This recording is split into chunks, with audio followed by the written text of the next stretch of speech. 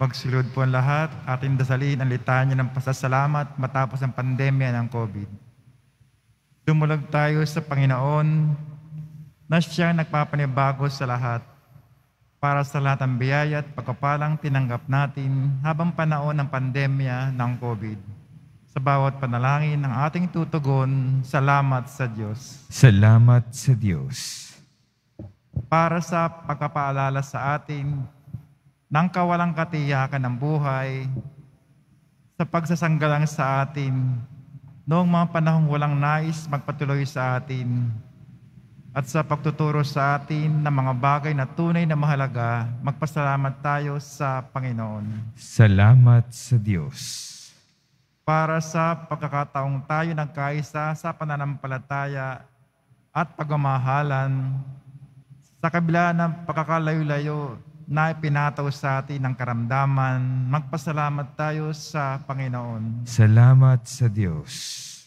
Para sa mga bayaning bukas palad, na nag-abot sa atin ng tulong, pangagham, panlipunan, at pang-espiritual sa kabila ng panganib na maaaring idulot nito sa kanilang buhay, magpasalamat tayo sa Panginoon. Salamat sa Diyos.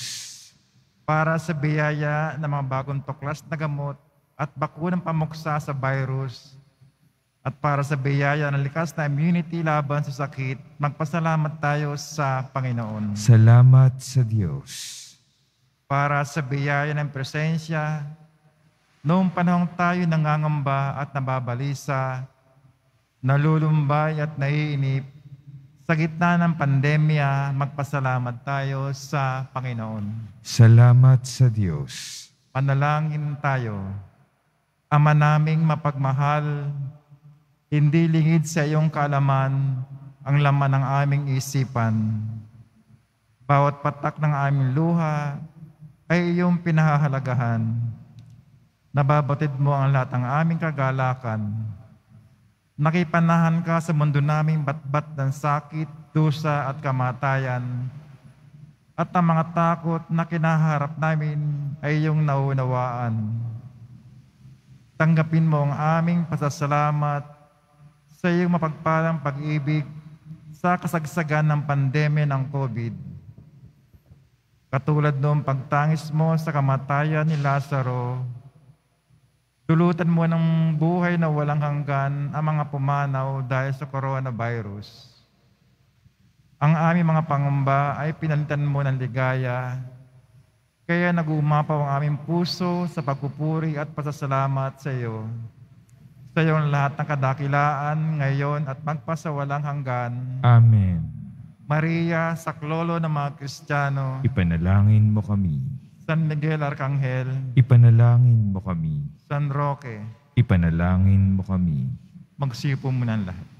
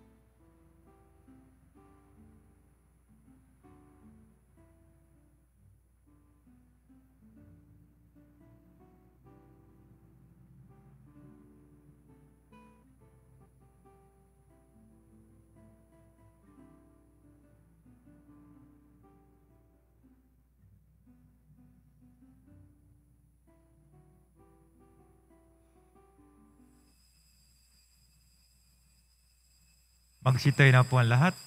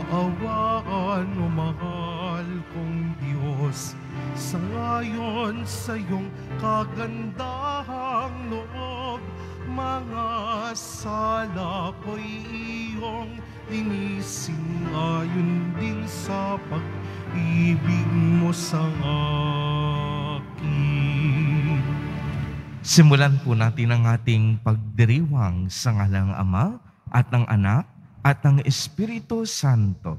Amen. Ang pagpapala ng ating Panginoong Heso Kristo, ang pag-ibig ng Diyos Ama, at ang pakikipagkaisa ng Espiritu Santo naway sumainyong lahat. At sumayo rin. Mga kapatid, tayong lahat ay tinipon ng ating Nuestro Padre, Jesus Nazareno, bilang kaanib ng angka ng Diyos. Kaya dumulog tayo sa mawaing Panginoon na nagpapatawad ng lubos. Sinugong tagapagpagaling sa mga nagsisisi. Panginoon, kaawaan mo kami. Panginoon, kaawaan mo kami. Dumating na tagapag-anyayang, mga makasalanan ay magsisi. Kristo, kaawaan mo kami. Kristo, kaawaan mo kami. Nakaluklok ka sa kanan ng Diyos Ama para ipamagitan kami. Panginoon, kaawaan mo kami. Panginoon, kaawaan mo kami. Kaawaan tayo ng makapangyarihang Diyos. Patawarin tayo sa ating mga kasalanan at patnubayan tayo sa buhay na walang hanggan. Amen. Manalangin tayo. Ama naming makapangyarihan, sa iyong pagtataguyod, ang aming mga ginagawa ay iyong pangunahan at sa iyong tulong ay iyong subaybayan upang ang lahat ng aming ginaganap ay sa iyo magbuhat at sa pamamagitan mo rin humahantong sa wakas sa pamamagitan ni Yesu Kristo kasama ng Espiritu Santo magpa sa walang hanggan. Amen. Magsiyo po muna ang lahat. Pagbasa mula sa aklat ng Deuteronomio. Sinabi ni Moises sa mga tao, Nasa inyo ngayon ang kapasyahan. Kayo ang pipili ng buhay at kasaganaan o ng kahirapan at ng kamatayan. Kapag sinunod ninyo ang kautusan, inibig ang Panginoon at nilakaran ng kanyang mga landas. Pagpapalain niya kayo sa lupaing ibibigay niya sa inyo. Mabubuhay kayo ng matagal at kanyang pararamihin kayo. Ngunit kapag tumalikod kayo sa kanya at naglingkod sa ibang Diyos, ngayon pa'y sinasabi ko sa inyong malilipol kayo. Hindi kayo magtatagal sa lupaing tatahanan ninyo sa ibayo ng Hordan. Saksi ko ang langit at ang lupa na ngayoy inilahad ko sa inyo, ang buhay o kamatayan at ang pagpapala o sumpa. Kaya piliin ninyo ang buhay para kayo at ang inyong lahi ay magtagal. Ibigin ninyo ang Panginoon, makinig sa kanyang tinig at manatiling tapat sa kanya. Sa gayon, mabubuhay kayo ng matagal sa lupaing ipinangako niya sa ninuno ninyong si Abraham, Isaac at Jacob. Ang salita ng Diyos. Salamat sa Diyos. Mapalad ang umaasa sa Panginoon tuwina. Mapalad ang umaasa sa Panginoon tuwina. Mapalad ang taong hindi naaakit niyong masasama upang sundan niya ang kanilang payo't maling halimbawa. Hindi sumasama sa sino mang taong ang laging adhikay, pagtawanan lamang at hamak-hamakin ang Diyos na dakila, nagagalak siyang laging magsaliksik ng banal na aral. Ang utos ng poon siyang binubulay sa gabi at araw. Mapalad ang umaasa sa Panginoon tuwina. Ang katulad niya'y isang punong kahoy sa tabing batisan. Sariwa ang dahot laging namumunga sa kapanahunan. At anumang gawin ay nakatitiyak na magtatagumpay. Mapalad ang umaasa sa Panginoon tuwina. Ngunit ibang-iba ang masamang tao, ipa ang kawangis. Siya'y natatangay at naipapadpad kung hangi umiihip. Sa taong matuwid ay Panginoon ang siyang mag-iingat, ngunit kailanman ang mga masama ay mapapahamak. Mapalad ang umaasa sa Panginoon tuwina. Magsitayo na po ang lahat.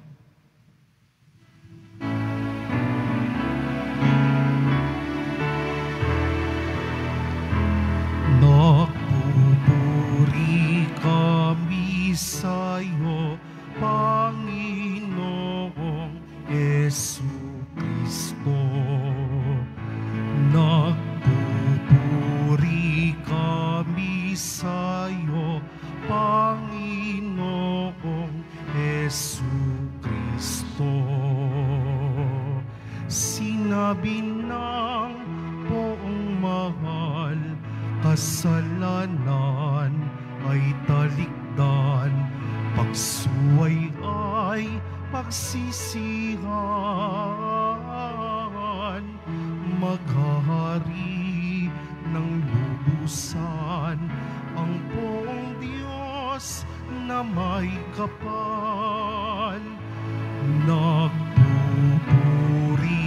kami sa'yo, Panginoong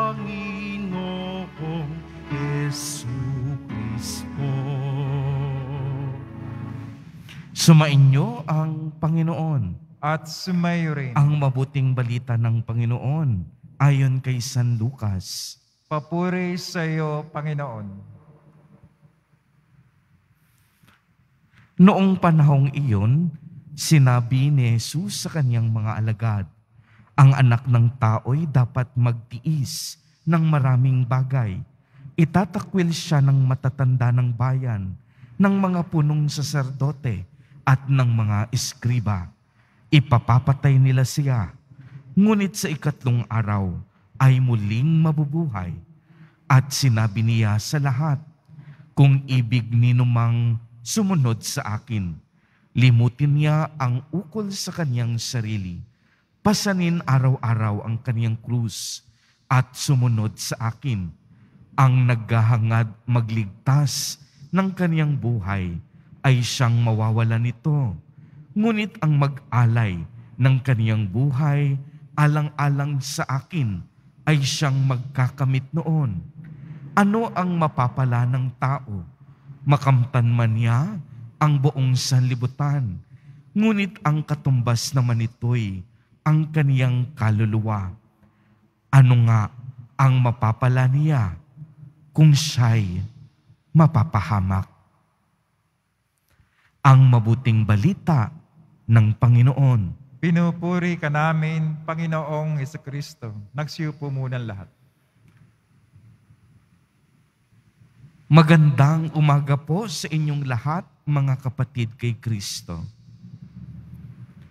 Sa lahat po ng ating mga taga-subaybay, sa iba't ibang online platforms, at sa lahat ng ating mga kadiboto, sa iba't ibang panig ng Pilipinas, at maging sa buong mundo, kung saan tayo ay naaabot ngayon ng ating live streaming. Mapayapang umaga din po sa inyong lahat. Purihin at dakilain natin ang ating Panginoon, ang mahal na poong Jesus Nazareno. Palakpakan po natin ang ating Diyos na tapat. Ngayon po ay nasa panahon na tayo ng Kwaresma. Kahapon sinimulan ang panahon ito sa pamamagitan ng pagpapahid ng abo sa ating mga noo. At ang pagpapahid ng abo sa ating mga noo ay tanda at paalala sa atin na tayong lahat pawang mga lupa lamang. At pag sinabing tayo'y pawang mga lupa lamang, ipinapaalala nito na ang buhay natin sa mundo nanggaling tayo sa lupa at magbabalik sa lupa. Na ang ibig sabihin, ang buhay natin panandalian lamang dito sa lupa.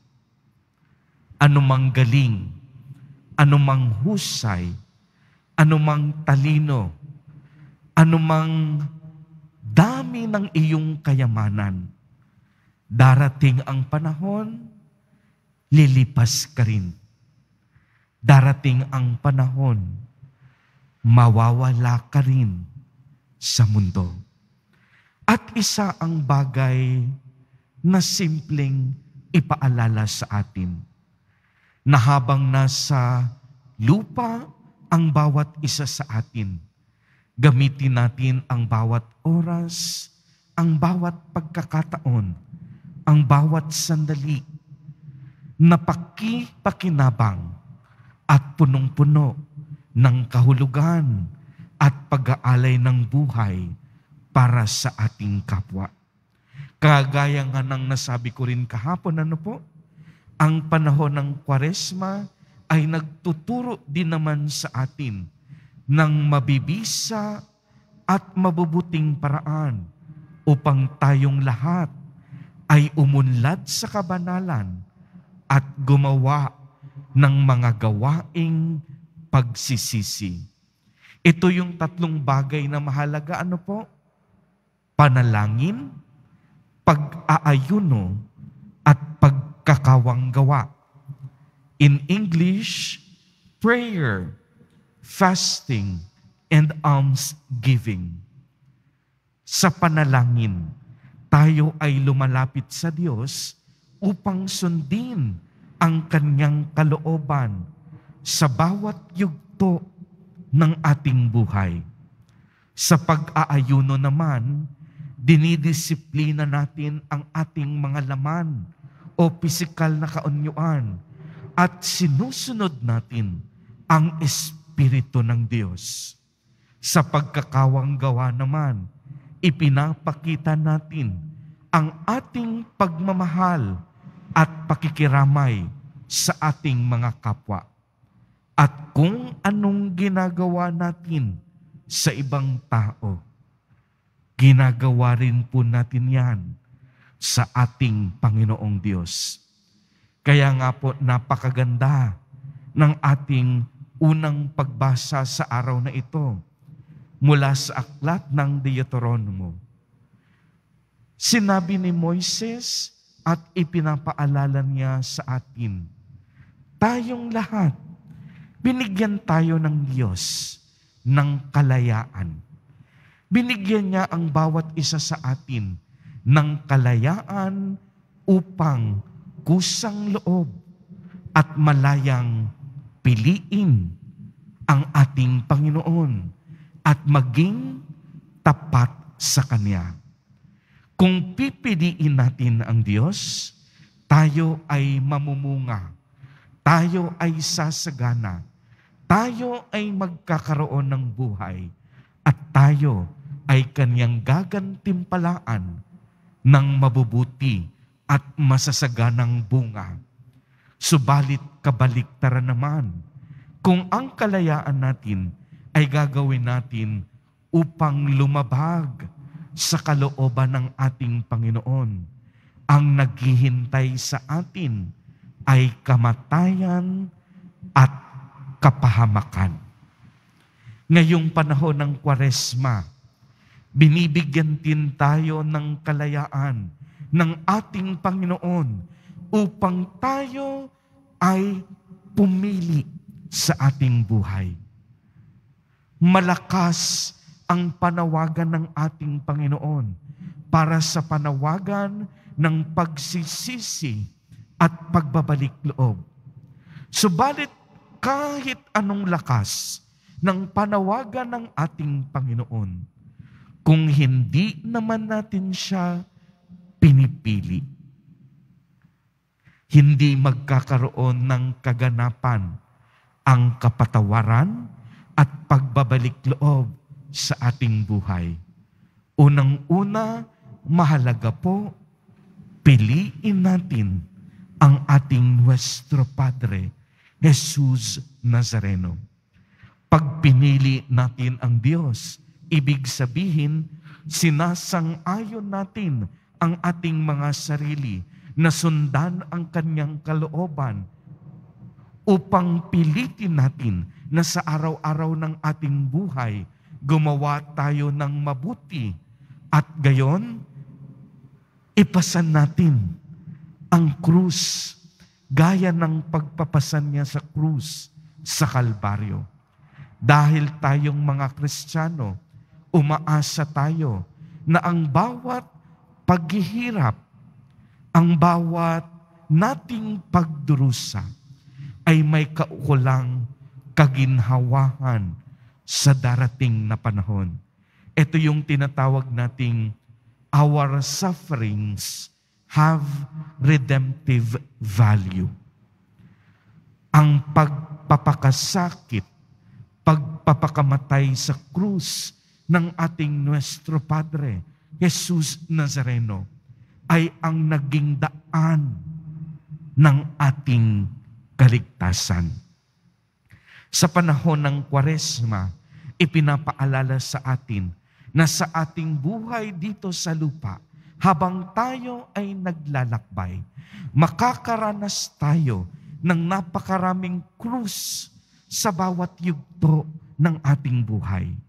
At ipinapaalala sa atin, huwag tayong magtakot na pasanin ang ating krus dahil hindi tayo nag-iisa. May una nang nagpasan ng tunay at pinakamabigat na krus. Yan ay ating Nuestro Padre, Jesus Nazareno. Kaya nga sa bawat maliliit na krus na ating dinadala sa araw-araw ng ating buhay, huwag tayong matatakot, huwag tayong mangangamba. Dahil kaagapay natin ang ating Panginoon upang sa gayon magkaroon ng kabuluhan at katuturan ang bawat nating pagsusumikap at paghihirap. Dahil makakaasa tayo na kung papasanin natin ang krus kasama ni Kristo, tayo ay tutulungan at idadaan niya sa tamang landas. At ang landas na yan ay ang landas ng kaginhawahan at buhay na walang hanggan. At ito yung tinutukoy nating tunay nating tahanan. Tayong lahat, mga kapatid, naglalakbay patungong langit. Sa ating paglalakbay patungong langit, marami tayong krus na kakaharapin. Ngunit hindi nangangahulugang tayo ay may pasaning krus. Tayo ay manghihina at manglulupaypay. Tayo ay susuko at hindi makikipaglaban. Ang turo sa atin ng ating Nuestro Padre, Jesus Nazareno, kung gusto mong maging karapat-dapat sa ating Ama, pasanin mo ang iyong krus. Dahil nakakasiguro tayo na sa pagpasan at pagyakap natin sa krus, kaginhawahan at buhay na walang hanggan ang naghihintay sa atin. Amen. Purihin at dakilain natin ang ating Panginoon. Palakpakan natin ang ating Diyos na buhay. Magsitoy na po ang lahat. Minamahal kong mga kapatid, tinatawag tayo ng Panginoon upang sumunod sa Kanya. Magpasa ng krus katulad niya at ihabilin sa Kanya ang lahat ng mga nagdurusa. Sa bawat panalangin, ang ating itutugon, Jesus, loobin mong ang iyong krus, ang aming maging kaligtasan. Jesus, loobin mo ang iyong krus, ang aming maging kaligtasan. Bilang kasapi ng simbahan, naway maisabuhay natin ang diwa ng krus at maging handang magpakasakit para kay Kristo at sa Ebanghelyo. Manalangin tayo. Jesus, loobin mo ang iyong krus, ang aming maging kaligtasan. Ang mga pinuno ng ating bayan naway mahabag sa mga mahihirap at gawin ang mga nararapat upang puksain ang pang-aapi. Manalangin tayo. Jesus, loobin mo ang iyong krus, ang aming maging kaligtasan. Ang mga nagdurusa, mga dukha, may sakit, may kapansanan, at mga bilanggo naway hindi mawalan ng pag-asa bagkos ay makaranas ng nagpapaginhawang pag-ibig ng Diyos. Manalangin tayo. Jesus, loobin mo ang iyong krus ang aming maging kaligtasan. Ang mga nag-iisa sa buhay, naway makatagpo na mga taong handang dumamay sa kanilang mga problema sa buhay. Manalangin tayo. Jesus, loobin mo ang iyong krus ang aming maging kaligtasan. Diyos naming Ama, ang pagpapakasakit at pagkamatay ng iyong anak ang nagbigay ng buhay sa mundo. Hinihiling namin ito sa pamamagitan ni Kristo na aming Panginoon. Amen. Magsiyo po muna ang lahat.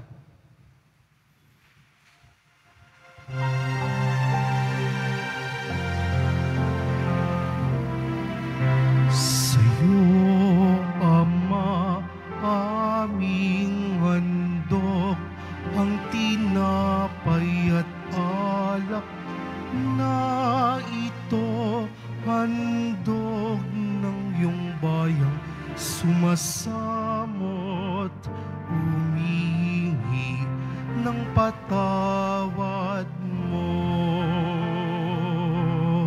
Sa'yo, Ama, aming handog ang tinapay at alak na ito handog bayang sumasamot humingi ng patawad mo.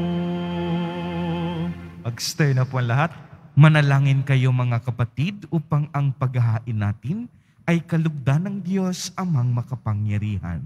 Tanggapin nawa ng Panginoon itong paghahain sa iyong mga kamay, sa kapuri niya at karangalan, sa ating kapakinabangan at sa buong sambayang banal.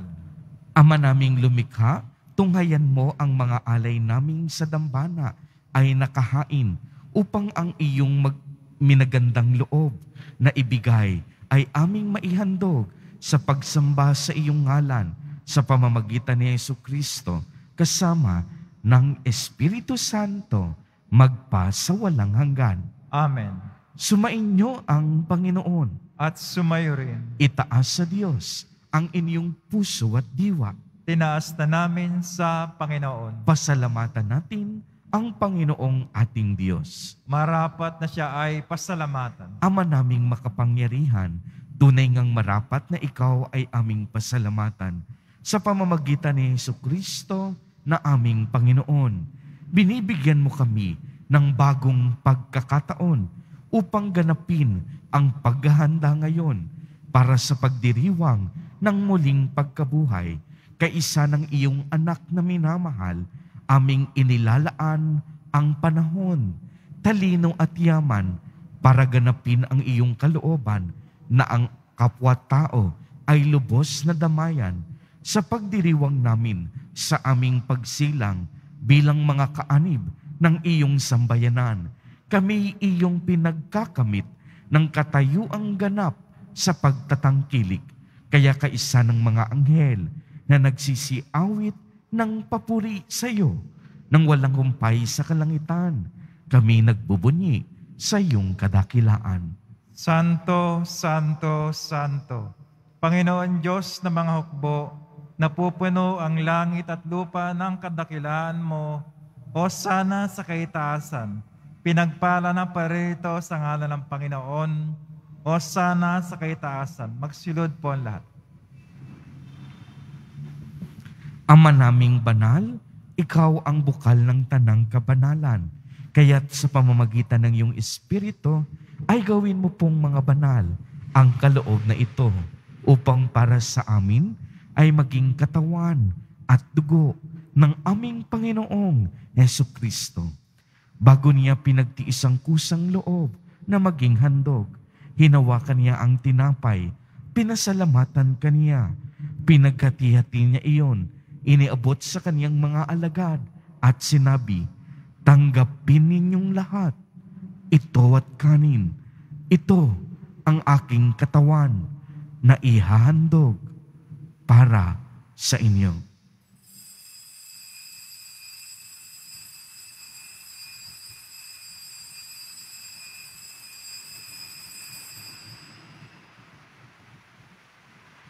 Gayon din naman noong matapos ang hapunan, hinawakan niya ang kalis.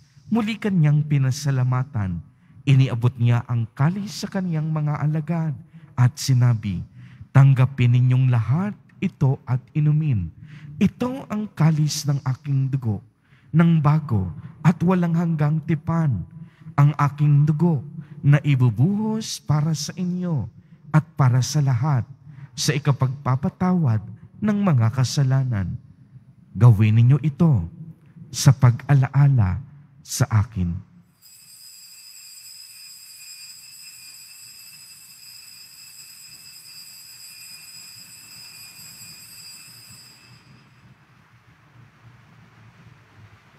Magsitay na po ang lahat.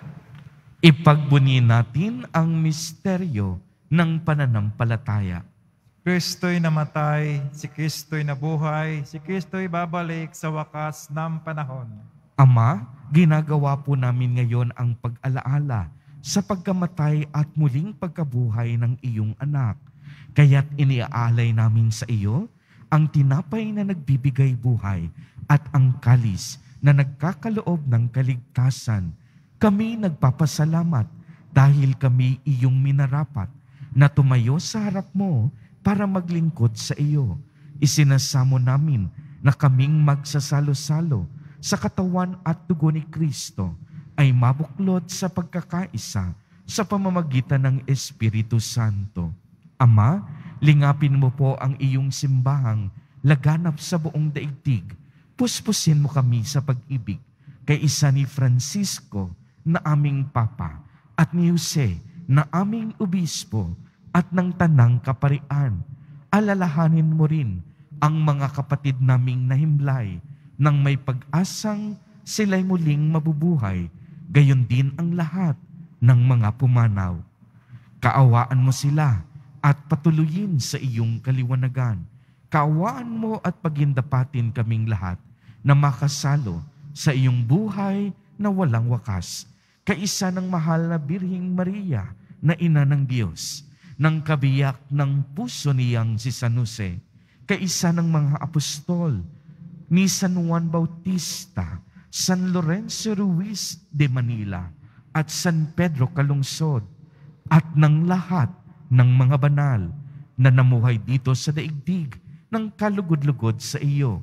Maipagdiwang nawa namin ang pagpupuri sa ikararangal mo sa pamamagitan ng iyong anak na aming Panginoong Heso Kristo. Sa pamamagitan ni Kristo, kasama niya at sa Kanya, ang lahat ng parangal at papuri ay sa iyo, Diyos amang makapangyarihan, kasama ng Espiritu Santo, magpa sa walang hanggan. Amen. Sa tagubilin ng mga nakagagaling na utos at turo ni Jesus na Panginoon natin at Diyos, ipahayag po natin ang lakas loob. Ama namin, sumasalangit ka, Sambahin ang ngalan mo, mapasa amin ang kariyan mo, sundin ang loob mo dito sa lupa para nang sa langit. Bigyan mo kami ngayon ng aming kakanin sa araw-araw at patawarin mo kami sa aming mga sala para ng pagkapatawad namin sa nagkakasala sa amin. At huwag mo kami ipahintulot sa tukso at yadya mo kami sa lahat ng masama. hinihiling namin na kami ay iadya sa lahat ng masama, pagkalooban ng kapayapaan araw-araw, iligtas sa kasalanan, at ilayo sa lahat ng kapahamakan, samantalang aming pinananabikan ang dakilang araw ng pagpapahayag ng tagapagligtas naming si Heso Kristo.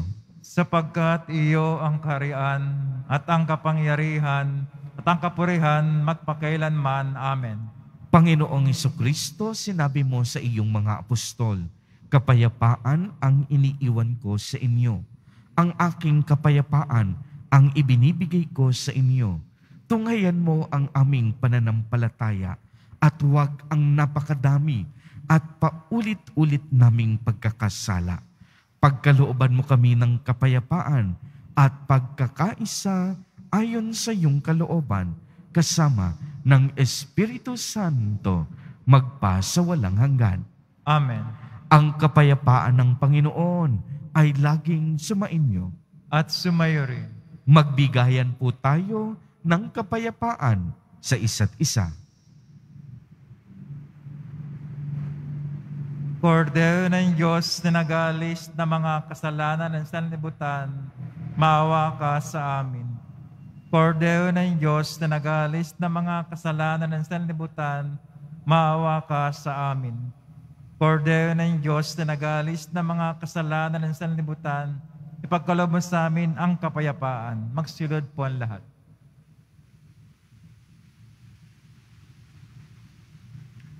Mga kapatid kay Kristo at mga kadiboto, narito ang ating Nuestro Padre, Jesus Nazareno. Lumapit tayo sa Kanya at magbalik loob. Ito ang kortero ng Diyos. Ito ang nag-aalis ng mga kasalanan ng sanlibutan. Mapapalad po tayo na inaanyayahan sa Kaniyang piging. Panginoon, hindi ako karapat-dapat na magpatuloy sa iyo, ngunit sa isang salita mo lamang ay gagaling na ako. Ipagsanggalang nawa ako ng katawan at dugo ni Kristo para sa buhay na walang hanggan. Amen.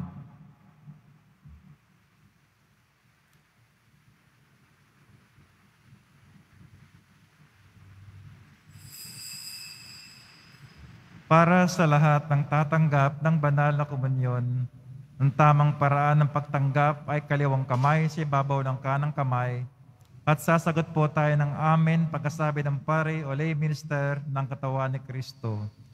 At isubo sa bibig bago muli sa harapan ng pare o lay minister. Sumunod po tayo. Maraming salamat po.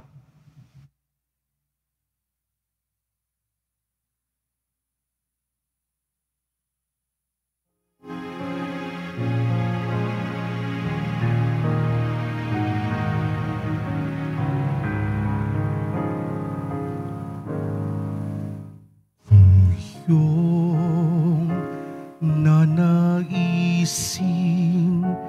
aking aakuin at balikatin ang krus mong pasanin. Kung iyong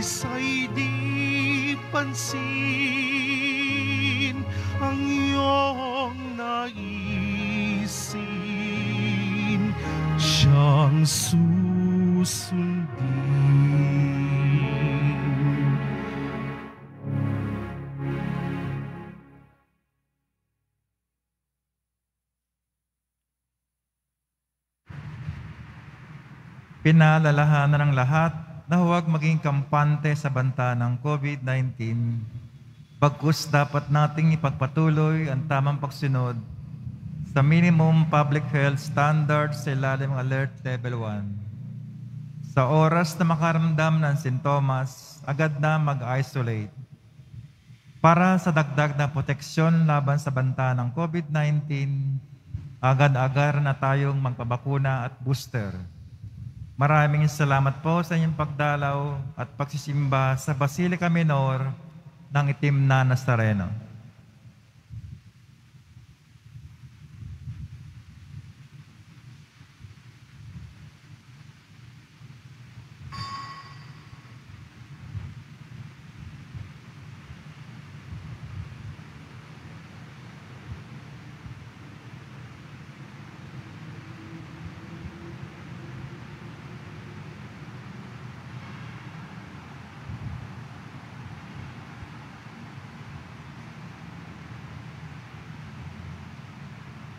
Magsitoy na po ang lahat. Manalangin tayo. Ama naming mapagmahal, ang pagsasalo namin sa piging mong banal, ang paghahaing ito sa ikapagpapatawad ng mga kasalanan ay siya na rin nawang laging magdulot ng kaligtasan sa pamamagitan ni Yesu Kristo, magpa sa walang hanggan. Amen. Sumainyo ang Panginoon At sumayo rin. pagbabasbas. Mahal na poong Jesus Nazareno, inihayag mo sa pamamagitan ng krus ang walang maliw na pag-ibig ng Diyos sa sangkatauhan. Pakinggan mo ang kahilingan ng iyong angkan na nagsusumamo sa iyo. Makamtanawa nila ang iyong katugunan at tanggapin ang kasagutan na may utang na loob na tinatanaw. Basbasan din po ninyo ang mga daladala nilang mga imahen at dasalan. Sa pamamagitan ng bendisyon na ito, naway maalala nila ang mga pangako nila noon sa binyag na ikaw ang kanilang iibigin at paglilingkuran bilang Panginoon magpa sa walang hanggan Amen. at pagpalain kayong lahat at ng inyong buong pamilya ng makapangyarihang Diyos, Ama, Anak, at Espiritu Santo. Amen. Humayo kayong taglay ang kapayapaan ng poong Jesus Nazareno. Salamat sa Diyos.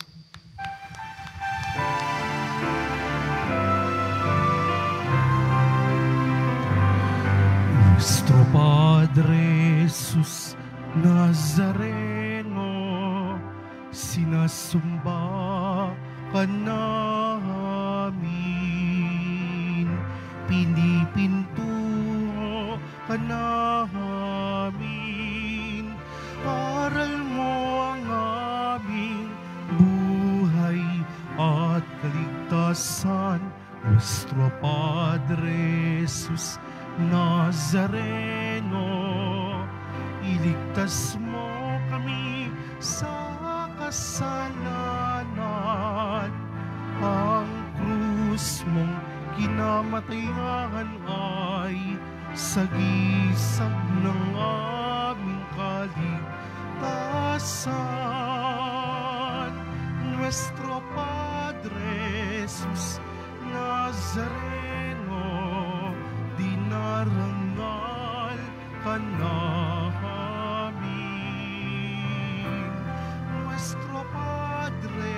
Jesus Nazareno,